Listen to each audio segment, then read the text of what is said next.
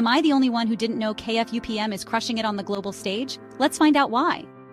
Established in 1963, KFUPM is a powerhouse in science, engineering, and management education. Ranked 101st globally by QS World University Rankings, it shines in petroleum engineering at second and mineral and mining engineering at eighth. But that's just the start.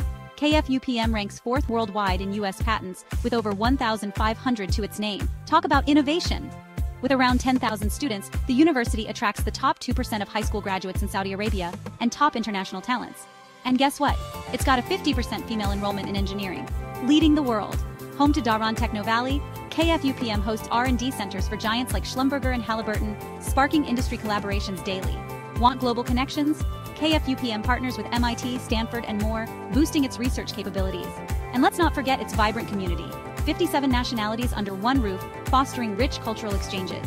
KFUPM isn't just an institution, it's a beacon of excellence, innovation, and inclusivity in the Middle East and beyond. Ready to be inspired? Look no further than KFUPM.